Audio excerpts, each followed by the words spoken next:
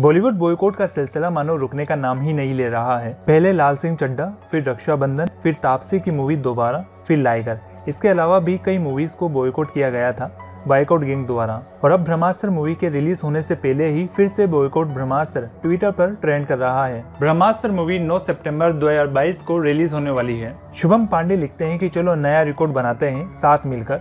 और इनको अपनी एकता की पावर दिखाते हैं। साथ में ये एक फ़ोटो भी शेयर करते हैं जिसमें लिखा था, सब याद रखा जाएगा। इसके रिप्लाई में अंकित सिंह लिखते हैं कि, तू संजू मूवी के टाइम पर ये सब भूल गया था क्या? उस मूवी ने तो मस्त कमाई की। लेकिन अभी हर चीज़ को तुम लोग बाइकआउट करने में लगे हुए हो। बॉयकॉट बॉलीवुड लिखते हैं कि आलिया भट्ट ने बोला था कि अगर मैं तुम्हें पसंद नहीं हूँ तो मुझे मत देखो। औकात से ज़्यादा नहीं बोल गई। कौन कौन बॉयकॉट कर रहा है इसको? इसके रिप्लाई में विवेक राठौर लिखते हैं कि आलिया एक अच्छी एक्ट्रेस है और इस बात को हमें मानकर चलना है। और आलिया ने कहा था कि अगर मैं तुम्हें पसंद नहीं हूँ तो मुझे मत देखो।